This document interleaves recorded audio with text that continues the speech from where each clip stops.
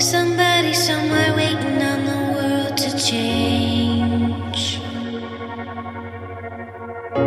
And inside all the voices trying to reach.